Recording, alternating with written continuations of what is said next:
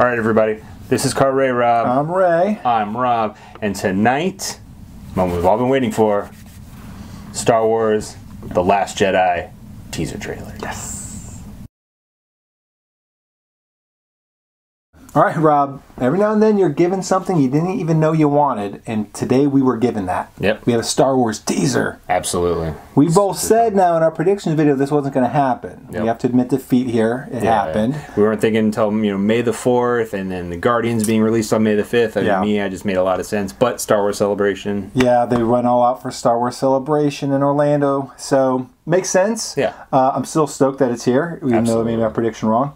But Rob, what are you hoping to see in this movie? Trailer, Well, teaser. you know, with Force Awakens, there was a lot of comparisons to A New Hope. You know, a lot of people kind of found that to be a little tedious, that it was kind of feeling like the same movie. However, I think it brought a lot of you know of those old fans back in. You know, Sure. get that old Star Wars feel. But with that, I'm really hoping to see something different. I'm hoping to see Yeah. them kind of step out of that shadow a little bit. You know, they've got their confidence back a little bit and going out there doing something different. Yeah, I think Episode Seven had a really tough job of restarting not just a franchise, but like probably the biggest franchise in the history of movies, with Yeah. maybe some of the strictest fans Oh, of some yeah, sort, yeah. introducing new characters, paying homage to old characters. I think in some ways they paid too much homage. But you know, it got us started in the right direction, and hopefully, this movie. I hope this movie, Empire Strikes Back's it. Yeah. and it starts to just get a little bit darker, a little bit find its own identity and do its own thing. And I think uh, I just want to get a taste of that in this teaser. That's what I think I'm hoping for. Yeah, absolutely. Another thing I'm really hoping for, I want to see the Rian Johnson influence. You know, I you know with J.J. Abrams doing Force Awakens, you know, it was fine. Yeah. I, I like Abrams. I think he's solid at what he does. But I think Rian Johnson is a really, really talented director, especially in the sci-fi realm. You know, Looper was great. Yeah. I'm really excited to see what he brings to Episode Eight. I was actually excited about Episode Eight before I even saw Episode Seven because I knew Rian Johnson was directing Yeah. it. So why are we waiting? I don't Let's know. watch Let's the this. thing.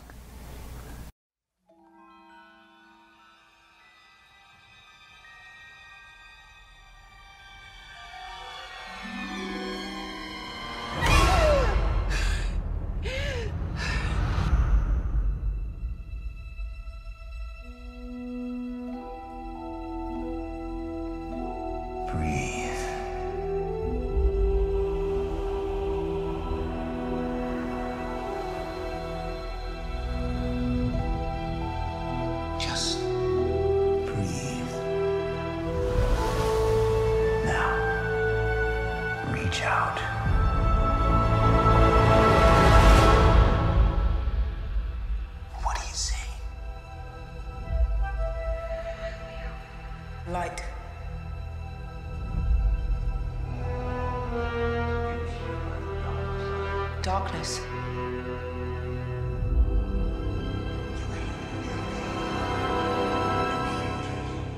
A balance.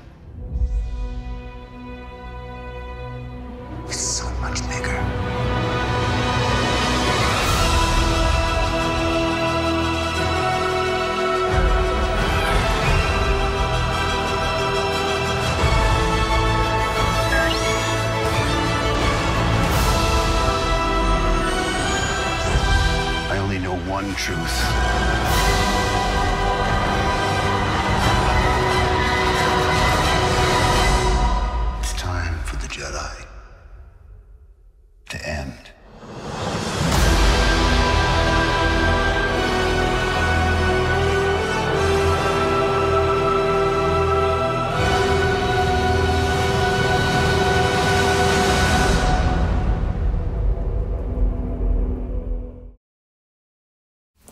Right. So we got, I think, a true teaser Absolutely. Yeah. for sure. Um, let's just start with that last line. Work I think that's the hook of the trailer. Sure. It's time for the Jedi. Time for the Jedi to end, says Luke. What do you think he means? Uh, you know, after The Force Awakens and finding out Kylo Ren's backstory and the whole you know, Luke screwed up with- training him. Right, he did. He, Dang it, he- Luke. He's, he's You're terrible. no Yoda. but he he's probably feeling really jaded. Mm-hmm. You know, I'm you know I'm training these people to you know in the ways of the light and the dark. Is so tempting. Strong, yeah, yeah. so strong. And you know, he's probably kind of getting to that point where he's he just doesn't understand the light dark dynamic anymore. He's having a crisis of spirit, if you will. I can see that. Yeah, I I saw you know some people's reaction like that. Luke's gonna be turned to the dark side. I'm like, I don't get, I don't feel that from that line. I mean, I know he's done that in the ex- in the extended universe. They, Uh-huh. That storyline does exist. Are they doing it here?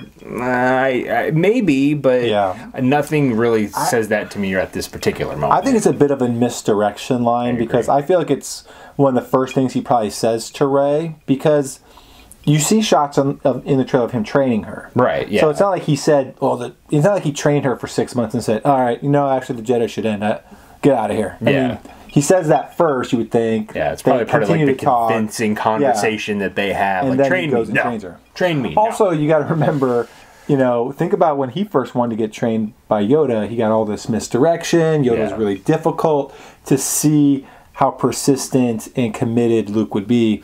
And I could see Luke doing that to Rey, like Yeah. really challenging her, really saying, "No, this is stupid. Get out of here. I don't- I don't train girls." Right. You know, and then it turned out to be, "Oh yeah, that was a test." You Absolutely. Know? So I think it's a bit of a misdirection, but I think it's cool. Yeah, no, absolutely, and it, you know, obviously that it sparked a discussion, which is always Mm-hmm. great. They're getting people talking about the movie. I mean, that's what these things are about.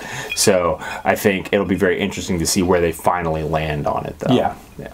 Well, you know, and I will say, you know, we're talking about the training aspect of Sure. this trailer. It was very heavy in this. Yeah. And that, you know, one thing that worries me about that is, you know, I, I mentioned in the before how excited I am for Rian Johnson to Yeah. direct this movie.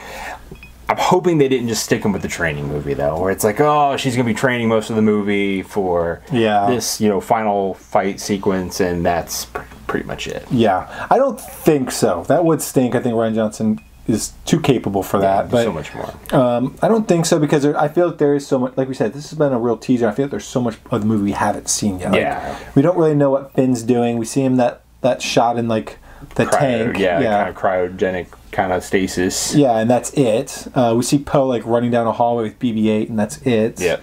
Um, we don't really see Kylo, Nope. except maybe a broken helmet. I'm thinking that's his. Yeah. We don't see Benicio del Toro's new character. We don't see really any, you know, we only see Phasma walking on the beach.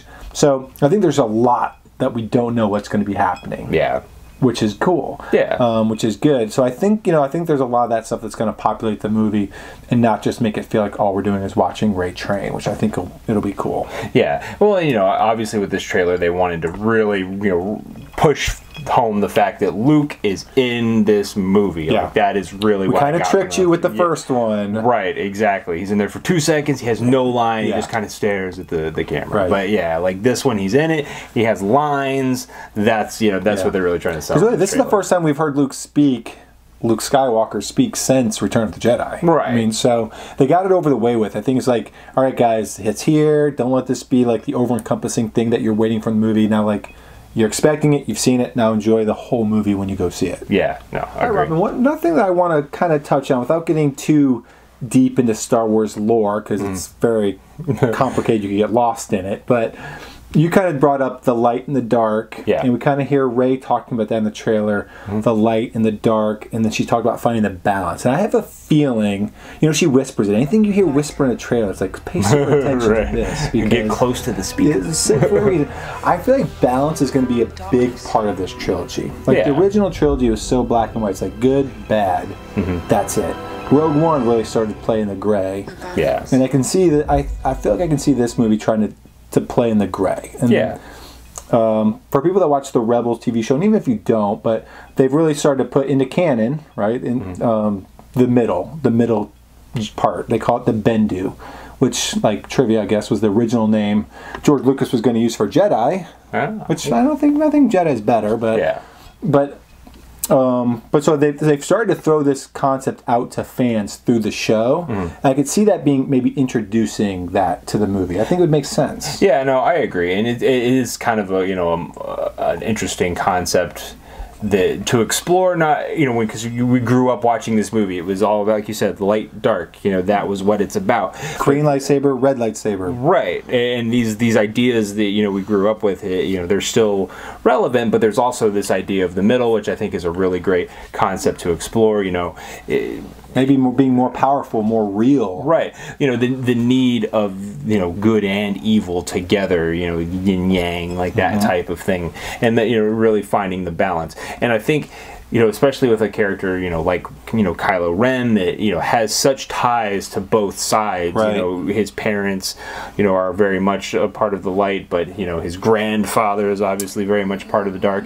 You know, I I could see that really being balled up within him. Yeah. And you know, Luke could kind of see that as an opportunity to, to figure out a way to instead of you know getting rid of the dark completely in Kylo Ren, figuring out a way for him to kind of live with both and and make it work for Like Bruce. Banner in the Avengers saying the way he can control Hulk is by being mad all the time. Oh, yeah, exactly. But it, it could be another twist on when, what um, kind of we were theorizing before when Luke is saying the Jedi might end. Maybe he's saying that the time for just being good or just being bad. Maybe he's saying, maybe literally saying, I don't want to train you to be a Jedi. I want to train you to be this middle ground. Right. And maybe he thinks that that's where you'll find real success.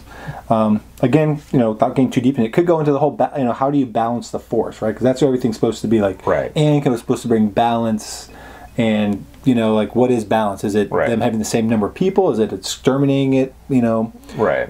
i think they're going to play with all that in this Yeah. series it could be really interesting how you interpret that No, I, I agree completely. You know, the idea of you're, you're right. Balance has been in the the films since the beginning. You Yeah. know, and you know, and kind of this whole idea of like you said, Anakin bringing balance to the Force and all of that. And uh, I feel like with this movie. It- it's kind of like it- it's really tying into a lot of modern Yeah, ideas you know? so, for then you know it was like that was kind of the, that was the times they you know, people were living in. It was kind of this idea of you know good evil that's it.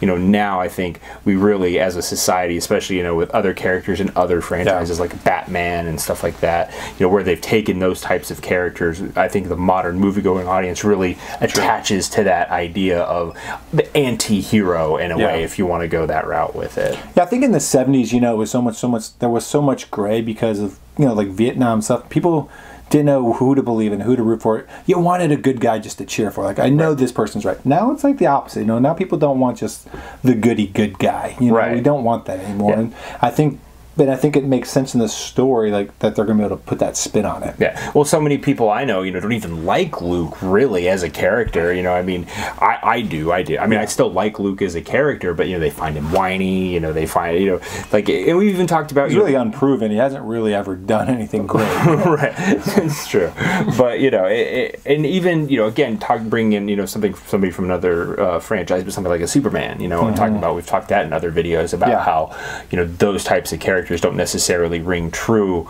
with you know the modern film going audience. So i could see with this and you know and bringing somebody like rian johnson in you know to write a character like that i think is absolutely brilliant because you know if you watched looper you know that it was the the lead character I mean joseph gordon-levitt in that film was very middle, you Yeah, know, gray area.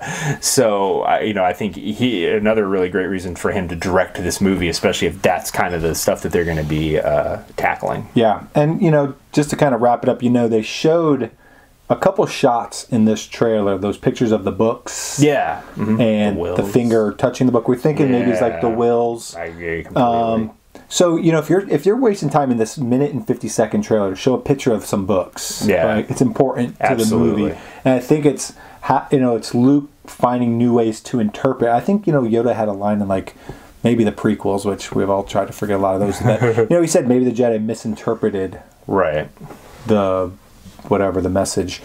Um, and maybe Luke has been spending a lot of time rethinking about this, especially since maybe he lost Kylo, really thinking about what is the way to bring balance to the Force. And I think these books are going to be important somehow. Yeah. And just that whole message of really thinking about the good and evil is going to be a big part of this. Yeah, I agree completely. Now, this is purely a technicality. Yeah, basically. Because I don't think this is going to surprise anybody, but that's why we're here. It's Yeah. why we make these videos. We're going to rate it, midnight it, stream it, forget it, go. I don't want to be a broken record, but I'm gonna midnight this. Wow, I'm shocked. Come on now, I'm not gonna not see Star Wars Episode Eight at midnight. Yeah, no, I agree. I will be there with with you at midnight as well. We have seen all. Of We the six all of them. trilogy. Uh, yeah, at, at midnight. Uh, when they did the re-releases, we Yep. saw them at first uh, first showings, and for the uh, Prequels. prequels, we did the midnight screenings for those as well. We will continue that tradition Yes. with Yes, episode we eight. will. All right, everybody, that's it for us. But we want to know what you think of the Last Jedi trailer. What did you think of Luke's last line? What does it mean? Let us know in the comments below. Then hit the like and subscribe button so you can catch our next video. Till then, this is Car Ray Rob. I'm Ray. I'm Rob. Try here. Stop. What the hell am I looking at? When does this happen in the movie? Now. You're looking at now, sir. Everything that happens now is happening now. What happened to then? We passed then. When? Just now. We're at now now. Go back to then. When? Now. Now? Now. I can't. Why? We missed it. When? Just now. When will then be now? Soon.